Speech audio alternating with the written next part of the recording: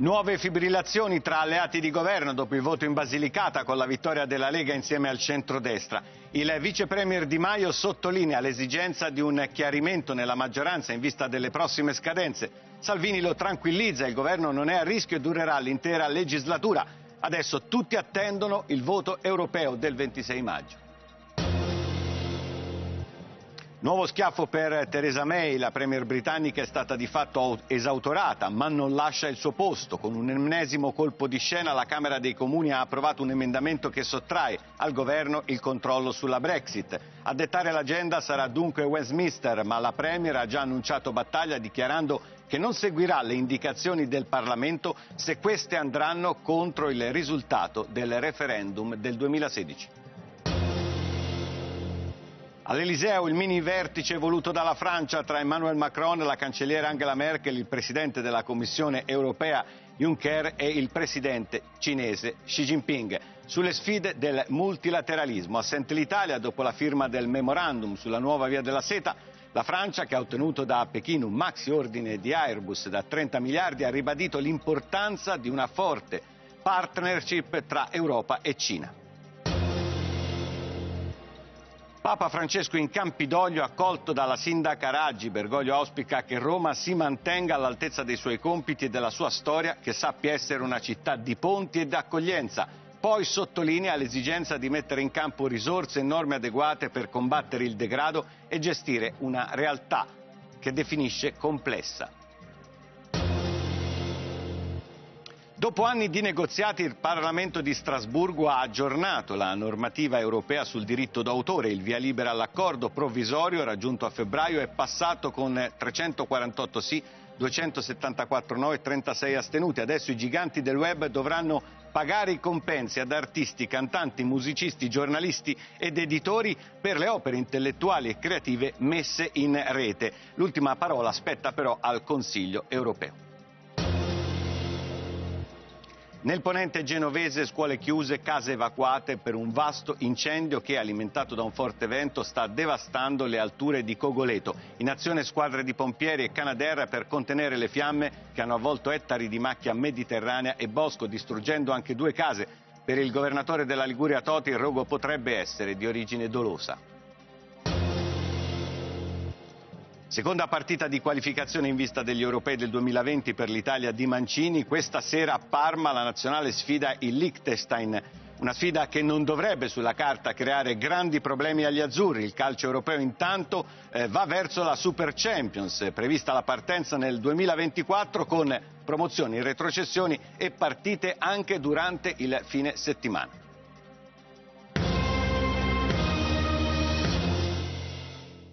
Buongiorno dal telegiornale della Sette. Dunque, in primo piano c'è come sempre, quasi sempre, la eh, politica.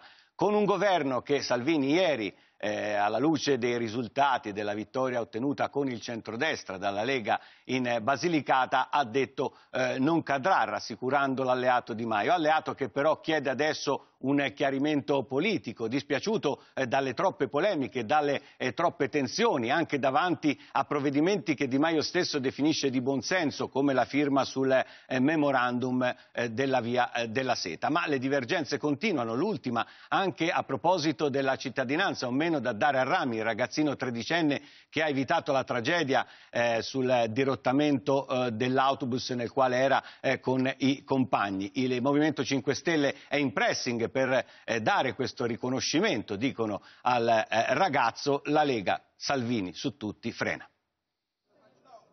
Il voto in Basilicata, che ancora una volta conferma l'ascesa del centrodestra e della Lega sul Movimento 5 Stelle, apre nuove fibrillazioni fra partner di governo. Serve un chiarimento tra alleati, spiega oggi Luigi Di Maio dalle pagine del Corriere della Sera, preoccupato della presenza ingombrante di Forza Italia. Il centrodestra vince, ma non esiste, gli altri fanno ammucchiate, noi no. Piuttosto che governare insieme a Berlusconi, il movimento se ne va all'opposizione, chiarisce il leader 5 Stelle, che rivendica il risultato ottenuto in Basilicata, dove il movimento movimento è il primo partito, nonostante abbia dimezzato i voti rispetto alle politiche di un anno fa. Ammette di essersi dispiaciuto per le polemiche sollevate da Salvini su via della seta e sblocca cantieri, chiede alla Lega più rispetto e invoca un chiarimento e rilancia le questioni sulle quali ci sono differenze di vedute, la famiglia e la cittadinanza a rami che Salvini ha per ora bloccato. Fibrillazioni che spingono Premier e Vice Premier a rassicurare che l'esecutivo non cadrà e andrà avanti per altri quattro anni. Lo scenario potrebbe però cambiare dopo le europee ed è proprio sull'appuntamento del 26 maggio che si concentra la sfida di Lega e 5 Stelle. Cresceremo ancora di più, afferma sicuro Di Maio, ben sapendo che se il movimento scenderà sotto la soglia del 20% potrebbero saltare gli equilibri all'interno del governo. Equilibri che Salvini, dopo la vittoria in Basilicata e sotto il pressing di Forza Italia per far cadere i 5 Stelle, Stelle potrebbe già cambiare. Per il leader della Lega però lo schema non si tocca, avanti col centro-destra a livello locale e coi 5 Stelle a livello nazionale. La strada che porta alle europee però piena di ostacoli, c'è lo sblocca cantieri, l'autonomia regionale, ci sono soprattutto i provvedimenti economici su crescita e sviluppo, il ministro Fraccaro ha annunciato che se ne comincerà a discutere oggi nel Consiglio dei Ministri e che dovrebbero contenere una manovra di bilancio inevitabilmente pesante. Solo dopo il voto del 26 maggio dunque si capirà se il governo giallo-verde resterà in piedi oppure imploderà con conseguente ritorno alle urne anticipate, che non sarebbe ostacolato dal colle, ma non converrebbe né al movimento, che si troverebbe in posizione di debolezza, né alla Lega, che dovrebbe tener conto dei suoi alleati di centrodestra. La lettura del voto, del risultato in Basilicata al centro anche eh, della direzione nazionale del PD, la prima con eh, Nicola Zingaretti eh, segretario. Zingaretti eh, che chiede eh, pieno mandato pensando a quelle che saranno le nuove alleanze. Ci sono da affrontare le regionali in Piemonte, la regione eh, della TAV e poi le elezioni europee. Prima di tutto però al centro del dibattito c'è chiaramente la pacificazione interna, un percorso non semplice per il PD. Unità e alleanze. Nicola Zingaretti alla sua prima direzione da segretario del PD e dopo il battesimo del fuoco elettorale della regionale in Basilicata fa il punto. Dobbiamo ricostruire un'unità tra di noi, spiega, perché la compattezza del partito è la condizione indispensabile per recuperare la capacità di costruire una coalizione. Spesso sono le nostre divisioni a impedire l'individuazione di candidati unitari per le amministrative, ricorda, Premessa necessaria mentre piovono sul neosegretario le critiche della minoranza per il risultato lucano. Gli ha pesato una situazione locale grave, ma il mio non è un giudizio consolatorio, dice il segretario. E mentre i renziani ribadiscono il no deciso al rientro dei fuoriusciti di MDP. Ci sono forze che vogliono dialogare, noi dobbiamo farci trovare aperti e pronti, anche per intercettare lo sfarinamento dei 5 Stelle e il malcontento di settori del centrodestra, insiste. Zingaretti annuncia che alle il PD correrà con la scritta Siamo europei, il manifesto di Carlo Calenda nel simbolo. Tre giorni di mobilitazione per il tesseramento, il 5, il 6 e il 7 di aprile, una o due assemblee, al sud e al nord, con gli amministratori locali e cita come possibili interlocutori per un'alleanza Italia in Comune del sindaco di Parma Pizzarotti, più Europa, Democrazia Solidale, Campo Progressista, i movimenti civici. Quanto ad articolo 1 MDP, Zingaretti non chiude la porta, ma è attento a precisare che non si tratterebbe del rientro dalla scissione dei bersaniani. Non si mettono le lancette indietro, Roberto Speranza sta lavorando per un soggetto politico autonomo, sottolinea perché le ultime regionali in calza Zingaretti ci hanno consegnato un nuovo bipolarismo tra il centro-sinistra e una destra-centro. La strada è lunga, non bisogna illudersi, ma noi siamo l'alternativa a Salvini. La ripresa di consenso del centro-sinistra è possibile sapendo che il bilancio del governo è catastrofico e sempre più insostenibile per le forze che lo compongono. Il compito del PD è far esplodere queste contraddizioni unità del partito da costruire su temi concreti. La direzione fa suo un ordine del giorno firmato da Monica Cirinnà e Francesca Puglisi contro ogni arretramento sui diritti delle donne, a cominciare dalla legge 194 sull'aborto e i diritti civili. Testo approvato in vista del Congresso Mondiale delle Famiglie, la manifestazione ultraconservatrice, il programma Verona il prossimo weekend. Un passo indietro nella storia della civiltà, commenta Zingaretti.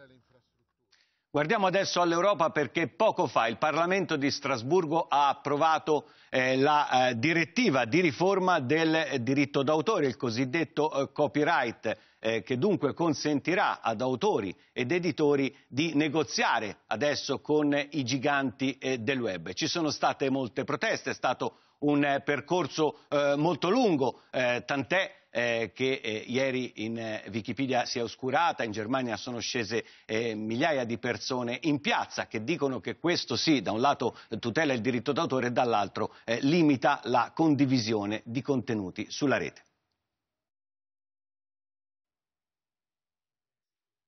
Allora, il servizio ancora non è pronto, restiamo in Europa e parliamo eh, della Brexit perché il governo di Theresa May ha dovuto eh, incassare una eh, nuova pesante eh, sconfitta. Sì, perché il Parlamento praticamente con un voto ha avvocato a sé le future iniziative sul percorso eh, della Brexit. Eh, verranno votate, grazie a questo emendamento, alternative al piano di Theresa May. Quali alternative? Lo sentiamo nel servizio. حتى Una barca in un mare in tempesta e per di più con un capitano delegittimato da un ammutinamento strisciante è la Gran Bretagna ai tempi della Brexit che ormai più che un affare nazionale assomiglia a uno psicodramma nazionale. Ieri in tarda serata un ennesimo colpo di scena del tutto inedito che aggiunge ulteriore incertezza. Il Parlamento ha approvato con 329 voti contro 302 un emendamento che di fatto sottrae al governo May il controllo sulla Brexit. Ora infatti sarà alla Camera dei Comuni a dettare l'agenda e organizzare votazioni in aula su possibili piani alternativi a quello della Premier, la quale parla di pericoloso precedente perché in genere nel Parlamento inglese è sempre l'esecutivo a decidere cosa mettere ai voti.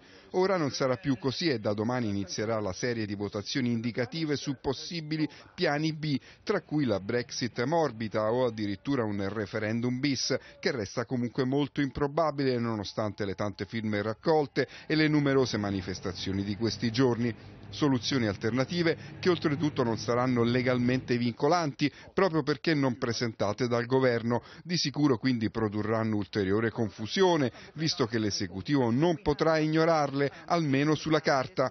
Non assicuro di tenerne conto se questi andranno contro il risultato del referendum del 2016, ha infatti già preannunciato Theresa May, la quale incassa così l'ennesimo duro colpo che la fa barcollare ma non crollare e dimettersi, eppure il suo governo continua a perdere pezzi, ieri sera se ne sono andati tre sottosegretari, mentre molti di quelli rimasti chiedono di poter scegliere liberamente nelle votazioni che iniziano domani in Parlamento. La May spera ancora di riuscire a far digerire alla Camera il suo accordo con Bruxelles, ma non ha i voti e come noto senza questo passaggio cruciale la proroga concessa da Bruxelles scade il 12 aprile. Il tempo quindi sta finendo e l'epilogo drammatico del no deal viene considerato ormai dall'Unione l'evento più verosimile. Andiamo adesso in Francia dove oggi è in corso il mini vertice europeo sulla Cina, un vertice al quale non partecipa l'Italia eh, che con la firma del memorandum eh, sulla via della seta eh, procede diciamo così in eh, solitaria, mentre eh, in Francia Macron, Angela Merkel, il presidente eh, Juncker e il presidente cinese Xi Jinping hanno affrontato il tema del multilateralismo, hanno affrontato il tema dei rapporti futuri fra l'Unione Europea europea e appunto la Cina. Messi in tasca contratti con Pechino per un valore complessivo di una quarantina di miliardi, il presidente francese Emmanuel Macron oggi ha presieduto il mini vertice Europa-Cina. Ha aperto le porte dell'Elysée ospitando non solo il presidente Xi Jinping, ma anche la cancelliera tedesca Merkel, che forte dei suoi 5-6 viaggi annuali a Pechino e dell'economia del suo paese non poteva certo essere tenuta fuori, e il presidente della Commissione europea Jean-Claude Juncker a cui è toccato il compito, chiudendo il vertice dopo un paio d'ore, di dire che insomma l'Europa e la Cina dovrebbero definire e articolare meglio i trattati che regolano la reciprocità dei loro investimenti e che per questo c'è già una data fissata, che è quella del prossimo 9 aprile, quando le delegazioni dell'Unione e quella cinese si incontreranno di nuovo a Bruxelles ascoltando questa volta il parere di tutti e poi si spera siglando accordi. Anche perché, ha detto ancora Juncker, la Commissione è la sola responsabile delle relazioni commerciali e la Cina è sì un partner ma anche un rivale e un competitor interessato. Cosa che il presidente Xi sa benissimo ovviamente che intende, fra l'altro, sfruttare anche per costruire un'egemonia che vada a detrimento dell'altro grande player economico internazionale, ovvero gli Stati Uniti. E dunque l'idea è quella di spostare l'asse delle relazioni, superando, ha detto Xi, i reciproci sospetti, anche se comunque nel frattempo sono stati fatti diversi passi avanti. Certo, in tutto questo stridono un po' gli appelli fatti dal presidente francese Macron affinché la Cina rispetti l'unità dell'Unione Europea. Non fosse altro perché, come dicevamo giusto ieri, la Francia chiudeva con Pechino un contratto per la vendita di 300 Airbus, ma anche un accordo per esportare cultura attraverso la realizzazione di un centro Beaubourg a Shanghai al contrario, ad esempio, di quanto è toccato a noi, che invece abbiamo dovuto restituire diverse centinaia di reperti archeologici cinesi, una delle pochissime notizie rilanciate con grande risalto dai media di Pechino. E in un mondo che, come vediamo, si apre sempre di più, ci sono però anche dei diritti da preservare. Siamo a quanto vi avevo annunciato prima, ovvero il voto di Strasburgo a favore della direttiva di riforma del diritto d'autore, che sentiamo. Il Parlamento europeo ha detto sì, approvando la direttiva sul diritto d'autore. Dopo tre anni di discussione, lunghi negoziati tra Commissione europea, Parlamento e governi, ora i giganti del web dovranno pagare i compensi ad artisti, cantanti, musicisti, giornalisti ed editori per le opere intellettuali e creative messe in rete. Il rischio che sulla tutela del diritto d'autore ai tempi di Internet tutto saltasse era reale. La pressione esercitata dalle grandi piattaforme come Google, Facebook, YouTube è stata forte in tutti questi anni di assenza di questo importante principio giuridico hanno potuto sfruttare tutto questo materiale arricchendo le proprie casse con enormi profitti tra raccolta pubblicitaria e dati degli utenti. Perché in gioco ci sono tanti soldi? YouTube, ad esempio, con 900 milioni di utenti ha versato finora agli autori appena 500 milioni di dollari. Al contrario, Spotify, servizio musicale dal quale si scaricano le canzoni, che ha solo 211 milioni milioni di utenti e ha versato alle varie case discografiche e autori circa 4 miliardi di dollari. Per non rinunciare a questo bottino hanno fatto di tutto, hanno bombardato le caselle di posta elettronica e i telefoni degli eurodeputati, fino a mobilitare gli utenti facendo leva sul rischio di censura di Internet. Pressioni denunciate anche stamani dal Presidente dell'Europarlamento Antonio Tajani durante il dibattito e dal relatore della direttiva, il popolare Axel Voss, che ha accusato pubblicamente Google, Facebook e YouTube di diffondere disinformazioni soprattutto tra i giovani. Non c'è censura con questa riforma, la libertà di espressione non viene limitata. Con questa riforma salviamo il patrimonio culturale europeo, tutelandolo dallo sfruttamento da parte dei monopoli tecnologici, ha detto Voss. Una vittoria per nulla scontata perché tra gli europarlamentari e i governi le divisioni erano tante. Cinque governi dei 28 paesi dell'Unione Europea, tra cui il nostro, hanno dato voto contrario, ma alla fine è prevalso lo schieramento che ha detto no al far west del web in Europa. Soddisfatte le associazioni europee degli editori e delle imprese culturali, messe in crisi proprio da Internet e che hanno visto così sancito il riconoscimento dei diritti dell'opera intellettuale. Quella di oggi era l'ultima chiamata. In caso di bocciatura e con l'Europarlamento scaduto, la riforma sarebbe stata rimandata alle calende greche. La votazione si è appena conclusa e ora serve solo l'assenso del Consiglio europeo chiaramente affatto eh, per niente soddisfatte le associazioni europee invece eh, dei consumatori eh, che stanno commentando questo accordo definendolo come molto squilibrato. Parliamo di Papa Bergoglio che oggi è stato ricevuto dalla sindaca di Roma eh, Virginia Raggi. Roma si mantenga all'altezza dei suoi compiti e della sua storia, che sappia anche nelle mutate circostanze odierne essere faro di civiltà e maestra di accoglienza nella sua prima visita in Campidoglio Papa Francesco ricorda subito il dovere dell'accoglienza come un compito prioritario per la città di Roma. Ad attenderlo la sindaca della capitale Virginia Raggi, un saluto insieme dal balcone dello studio della prima cittadina, un breve colloquio privato e poi il discorso nella sala Giulio Cesare. Roma è la città dei ponti, non dei muri, ha detto a braccio il pontefice, non si temano la bontà e la carità, ha esortato esse sono creative e generano una società pacifica. Nel discorso discorso del pontefice nessun accenno alle recenti vicende giudiziarie con gli arresti e le inchieste per corruzione che hanno coinvolto anche la giunta capitolina. Papa Francesco ha voluto solo ricordare come la città eterna debba essere all'altezza della sua storia e come l'amministrazione necessiti di norme e risorse adeguate per gestire una realtà così complessa.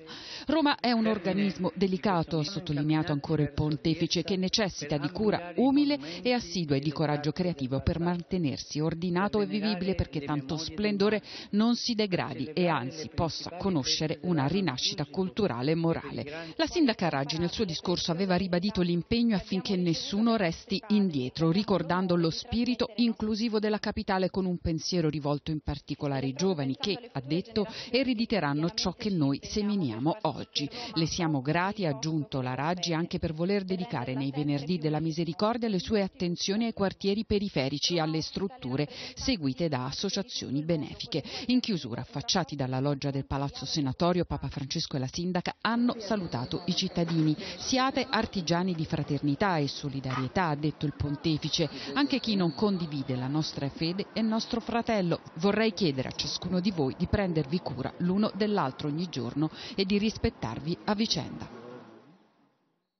Torniamo adesso sulle parole eh, pronunciate davanti al PM di Milano da parte di eh, Cesare Battisti, l'ex terrorista dei proletari armati per il comunismo, estradato in Italia dopo quasi 40 anni di latitanza. Battisti ha chiesto sì scusa ai familiari delle vittime, ma soprattutto ha ammesso di aver commesso i quattro omicidi per i quali è stato eh, condannato all'ergastolo. Al medico dell'INAM Diego Fava, Cesare Battisti sparò alle gambe il giorno prima che le Brigate Rosse uccidessero Aldo Moro, l'8 maggio 1978. Era la notte della Repubblica e Battisti e i suoi compagni si preoccupavano di punire i medici sbirri di Stato. Fava, dal loro punto di vista, con le sue visite fiscali, si frapponeva all'assenteismo operaio che rappresentava nella retorica degli anni di piombo dei PAC un momento cardine per lo smantellamento di ogni pratica di rifiuto del lavoro e dello sfruttamento. Diego Fava, ultra novantenne, non ha visto la fine della latitanza dell'uomo che gli sparò, è morto lo scorso gennaio, pochi giorni prima della cattura di Battisti. Sua moglie Luciana non vuole rilasciare intervista, è scossa dalle notizie di ieri, scettica sulle scuse dell'ex terrorista ai familiari delle sue vittime. Lei le accetta le scuse di Battisti? Ah no, assolutamente no. No, perché non, non, non ci credo, ecco.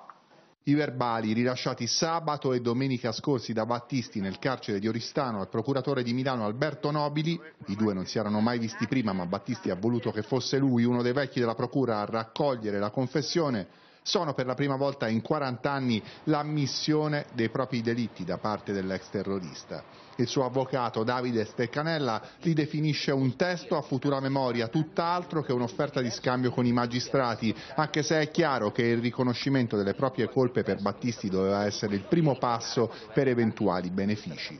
Di sicuro è stata una deposizione sofferta durata due giorni in cui, pur rivendicando di aver combattuto una guerra che credeva giusta, Battisti ha ammesso che la lotta armata ha distrutto il movimento del 68 per l'ex terrorista a metà maggio è fissato un incidente di esecuzione presso la Corte d'Assise d'Appello di Milano. I magistrati si dovranno pronunciare sulla richiesta di Battisti di tramutare l'ergastolo in una condanna a 30 anni, come era stato convenuto con le autorità brasiliane prima dell'arresto in Bolivia. Secondo il suo avvocato, Battisti doveva essere estradato dal Brasile e la sua espulsione dalla Bolivia non è stata regolare.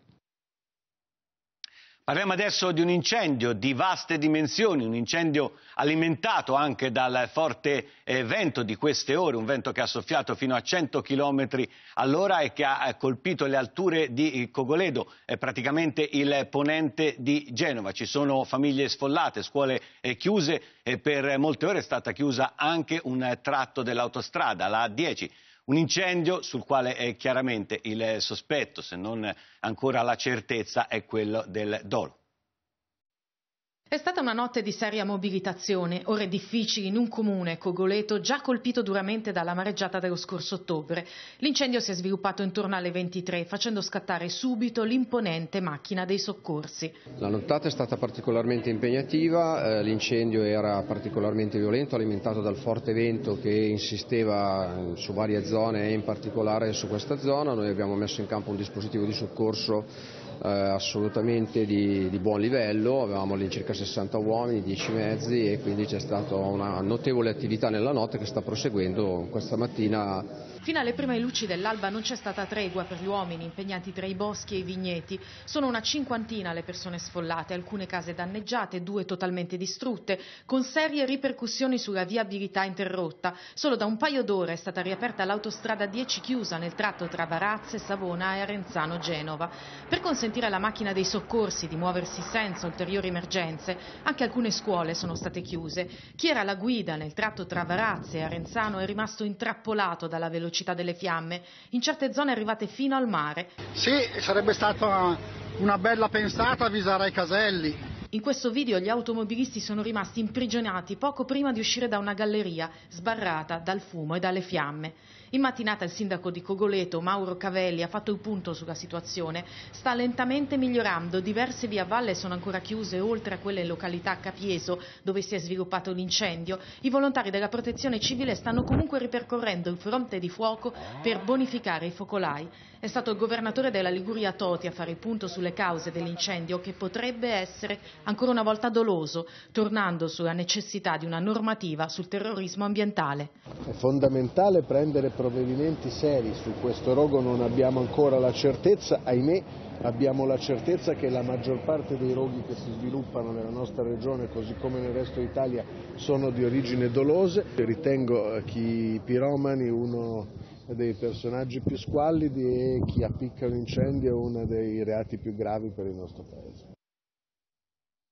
I carabinieri del Ross hanno arrestato in provincia di Enna e in altre eh, località italiane 21 persone accusate eh, a vario titolo dei reati di associazione di stampo mafioso, di omicidio e di estorsione. In questo video diffuso dai carabinieri si vedono gli arrestati mentre partecipano ad un summit mafioso tra i clan di Pietra Perzia e la potente cosca catanese Ercolano Santa Paola. Le indagini hanno permesso eh, di ricostruire anche diversi episodi criminosi, tra cui l'omicidio del commerciante Filippo Marchia, avvenuto in provincia di Enna il 16 eh, luglio del eh, 2017.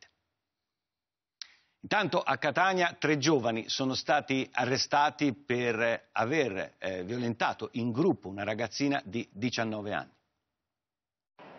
Una serata in compagnia di un'amica in un locale nel centro della città, tre ragazzi che si avvicinano e offrono da bere, la proposta di spostarsi in un altro locale una volta in strada, il trasferimento forzato in auto verso un luogo isolato sul lungomare e la violenza di gruppo è il racconto di una ragazza statunitense di 19 anni, da tre mesi ospite alla pari di una famiglia catanese. La violenza sessuale si sarebbe consumata dieci giorni fa, la notte del 15 aprile. La ragazza si trovava nei pressi di Piazza Teatro Massimo, il cuore della movida catanese. Era in compagnia di un'amica, ma poi è rimasta da sola nel locale e si è intrattenuta con tre ragazzi suoi coetanei che le hanno proposto di fare un giro a piedi per raggiungere un altro locale. Fuori però, sempre secondo la testimonianza della ragazza, è comparsa un'auto dove lei sarebbe stata fatta salire a forza sul sedile posteriore. Il tentativo di dare l'allarme chiamando il 112 con il proprio telefonino è stato bloccato da uno dei tre giovani. In una stradina isolata sul lungomare della città, racconta la ragazza, si sarebbe consumata la violenza di gruppo. A turno i tre avrebbero abusato di lei, mentre gli altri riprendevano la scena con i telefonini. Al ritorno a casa la ragazza ha raccontato tutto al telefono alla madre e alla sorella che l'hanno convinta a denunciare. La studentessa aiutata anche dalla famiglia catanese di cui è ospite, ha così presentato un esposto ai carabinieri ed è stata sentita dal pool di magistrati della Procura di Catania specializzato nei reati riguardanti la violenza di genere. Sei giorni dopo il fermo dei tre ragazzi identificati grazie a un video che la ragazza aveva girato all'interno del bar dove aveva incontrato i tre presunti violentatori.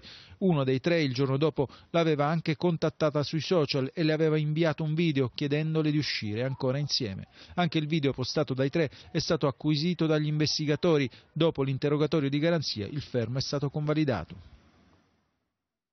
Andiamo adesso in Medio Oriente dove la tensione è davvero alle stelle. Tra circa mezz'ora si riunirà il Consiglio di sicurezza delle Nazioni Unite per eh, discutere la situazione dopo eh, quel lancio ve l'abbiamo raccontato ieri, eh, del razzo da parte eh, di Gaza che ha colpito la periferia eh, di Tel Aviv e la conseguente eh, controoffensiva eh, israeliana eh, contro Hamas. Il premier israeliano Netanyahu ha detto di non voler accettare il cessate il fuoco di Gaza.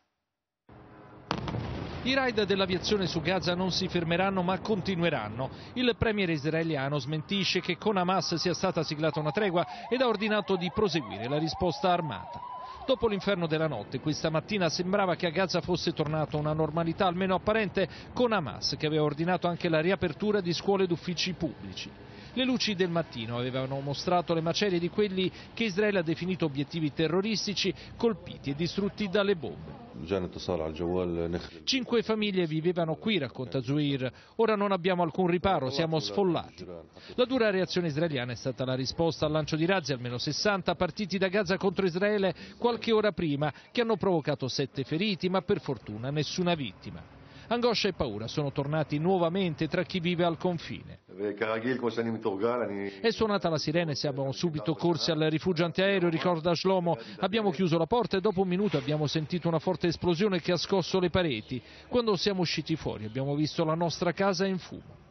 Netanyahu, che ieri a Washington ha incassato un nuovo attestato di amicizia dal forte alleato statunitense con il riconoscimento da parte di Donald Trump della sovranità israeliana sulle alture del Golan, una mossa che ha provocato la ferma reazione di Siria, Russia, Cina e Turchia, è rientrato nel paese interrompendo la sua visita negli USA per seguire da vicino la nuova crisi. La firma di ieri non è solo un passaggio epocale, come lo stesso primo ministro ha riconosciuto, che segue altri passi importanti come il ritiro dal trattato sul programma nucleare iraniano o quello del trasferimento dell'ambasciata americana a Gerusalemme, ma dà nuovo vigore alla campagna elettorale per le elezioni del 9 aprile, che vedono Netanyahu impegnato per ottenere un quinto mandato. Indebolito dalle indagini della magistratura per un suo presunto coinvolgimento nella vendita di sottomarini tedeschi all'Egitto, accuse sempre respinte, il primo ministro si era ritrovato a gestire una crisi provocata dalle dimissioni del ministro della difesa Lieberman, contrario proprio all'accordo di un cessate il fuoco con Hamas su Gaza. Ci fermiamo adesso per eh, qualche istante, dopo la pubblicità, pagina sportiva, tra poco.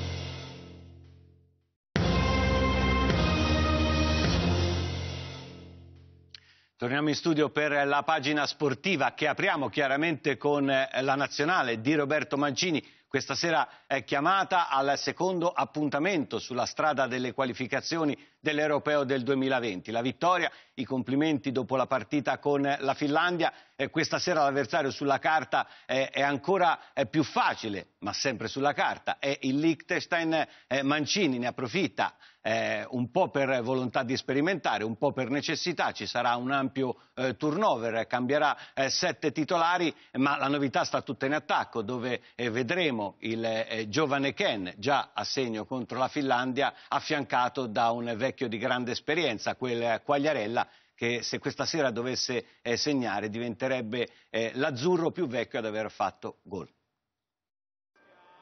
Il rischio del troppo facile può essere insidia maggiore per l'Italia di Mancini contro un avversario di piccolo capotaggio, ancora di più magari ripensando alle ultime qualificazioni mondiali, quando il Liechtenstein naufragò sotto le nove reti totali degli azzurri di Ventura. Ma non si deve commettere l'errore di considerare la pratica già archiviata solo perché siamo l'Italia. Sono quelle partite che se non sblocchi iniziano a diventare un po' fastidiose. Non sono tutte scontate, basta vedere Brasile-Panama di tre giorni fa, 1-1, quindi le partite vanno giocate e prese tutte quante col massimo della concentrazione. Se l'atteggiamento mentale sarà corretto, la partita potrebbe regalare soddisfazioni soprattutto agli attaccanti e dare una spallata alle nostre difficoltà sotto porta. Un bel gruzzolo di gol non guasta mai a prescindere per il morale e la classifica. E stavolta il nostro attacco è quanto mai singolare per i suoi eccessi generazionali. Il ragazzino Ken è il diversamente giovane Quagliarella, 19-36 anni. Sembra il manifesto migliore per una nazionale che abbraccia il rinnovamento ma non sposa la rotazione rottamazione a prescindere di chi è ancora competitivo. Non bisogna infatti dimenticare che Quagliarella è il capocannoniere della Serie A davanti a Cristiano Ronaldo, le prestazioni sono sotto gli occhi di tutti. Mancini sottolinea meriti e chiarisce che non è una presenza a gettone, come dire se continua così lo porto all'europeo. La chioccia è il pulcino Ken che ha bisogno di minutaggio, ma che secondo il suo vate procuratore Raiola deve giocare sempre. Adesso si apre uno scenario nuovo con l'infortunio di Ronaldo. Per il futuro ci attendono le strategie di mercato perché nel 2020 scade il suo contratto. A completare il tridente stasera ci sarà Politano, una delle novità nella formazione che cambia più del previsto per la stanchezza e gli infortuni. Importa l'occasione di vedere Sirigu, rivoluzionata la difesa in cui resta solo Bonucci. Al suo fianco Romagnoli, Spinazzola a sinistra, mentre sull'altra fascia c'è il debutto di Mancini dell'Atalanta. A centrocampo sembrava destinato al riposo lo staccanovista Giorginio, 41 partite con il Chelsea, con il cambio naturale di Sensi che invece prende il posto di Barella, confermatissimo Verratti che sembra arrivato alla maturità. Allora diciamo che eh, è stato assolto perché il fatto non sussiste Marco Paoloni. Chi è Marco Paoloni? È l'ex portiere eh, della Cremonese che fu accusato di aver riempito con del sonnifero le bottigliette eh, dei compagni nel novembre del 2010. Eh, da questo episodio nacque l'inchiesta eh, della Procura di Cremona che poi portò allo scandalo del calcio scommesse del 2011. Dunque Paoloni assolto perché il fatto non sussiste.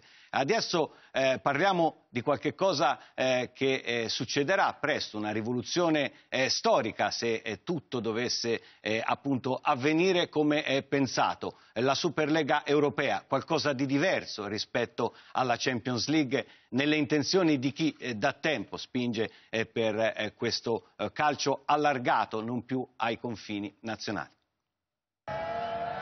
campionati nazionali il mercoledì e gare di coppa nel weekend. Il mondo del calcio si appresta a vivere una rivoluzione epocale. A partire dalla stagione 2024-2025 scatterà la nuova Champions League che avrà un format molto diverso da quello attuale. 32 squadre divise in quattro gruppi da 8, una prima fase con girone all'italiana e partite di andata e ritorno, seguita poi dagli incontri ad eliminazione diretta. Per ogni nazione un paio di club, forse tre, avranno diritto a partecipare sempre sempre in base alla loro storia sportiva. Da noi le principali candidate dovrebbero essere Juventus, Milan e Inter. Per le altre la possibilità di un invito con la formula delle wild card. Il progetto di una Super Champions sempre più chiusa e meno democratica è stato presentato questa mattina ad Amsterdam, dove l'ECA, l'associazione dei club europei, presieduto da Andrea Agnelli, ha trovato la piena condivisione della UEFA, la federazione calcistica del vecchio continente. Nessun torneo privato all'americana come la NBA dunque, ma un'evoluzione della Champions che abbiamo imparato a conoscere in questi anni, nella quale crescerà il peso politico ed economico delle grandi società. Sarà naturalmente una competizione molto più ricca, con le televisioni a dettarne il calendario. L'obiettivo è quello di avere un giro di affari superiore agli introiti della Premier League, il principale torneo di calcio al mondo.